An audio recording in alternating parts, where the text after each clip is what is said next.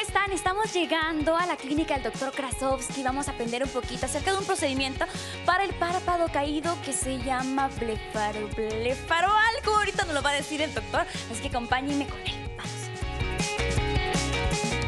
Doctor, estoy súper contenta de estar nuevamente en tu consultorio. A ver, ¿cómo se llama? Blefaroplastía, ¿está bien así? Así es, eres bienvenida y toda la gente que nos está viendo son bienvenidos aquí en el consultorio. Vamos a hacer una blefaroplastía, lo dijiste bien, pero sin bisturí. Vamos a, mejorar, a retraer un poquito el párpado caído para que el ojo se abra un poquito más, pero sin una gota de sangre. Yo ya vengo preparada con mis lentes y todo, ¿eh? Es muy importante las medidas de precaución porque como se usa un láser, sabemos que tenemos que proteger principalmente los ojos, no nada más los nuestros, también los ojos de la paciente. ¿Cómo funciona esta máquina? Estoy viendo que ya tiene láser en la mano. Cuéntenos un poquito. Es un láser que actúa por medio de puntos, pequeños puntilleos que va haciendo en la piel. Estos puntilleos lo que van a hacer es una retracción en cada puntito que vamos dando. Vamos dando los disparos a todo lo largo del párpado donde tenemos la piel. Cada disparo va provocando una mini quemadura con láser, lo cual nos va a dar que la piel vaya retrayendo. Doctor, ¿a partir de qué edad se puede hacer este procedimiento? Bueno, a partir de la edad que el paciente dice siento los ojos caídos o que siente ya exceso de piel en su párpado, es el momento ideal para hacerse este tratamiento. Vamos a hacer el tratamiento sobre el pliegue de la piel y lo tengo que mover porque si yo lo dejo estático, produce una, puede producir una quemadura. Ahora vámonos al párpado inferior. Vamos a proteger muy bien el ojito.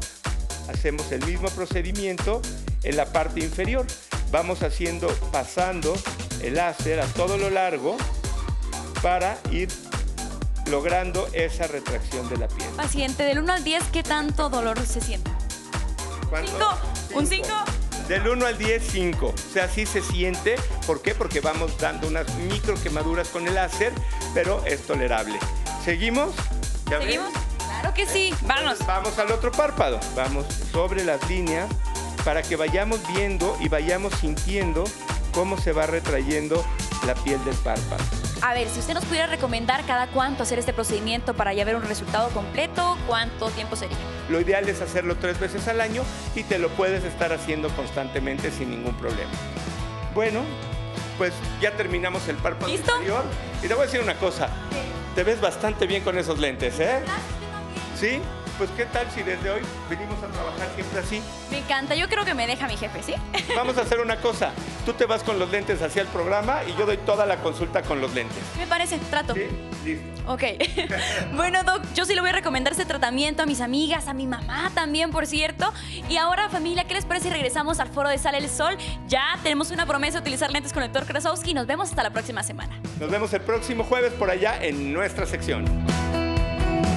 Mi Katy está espectacular. Increíble, qué chula. Y la señora, nuestra señorita que está ahí con nosotros, la paciente, quedó guapísima. Y bueno, cuando te depilas hasta con láser te duele un poquitín, pero es mucho mejor a una cirugía. Yo ya anduve viendo tratamientos para quitar las bolsitas Ay, y levantar un poco. Que no se note la edad. ¿Cómo Me encanta, mi Katy. Oye, y hablando de magia, porque te dejan como por arte de magia.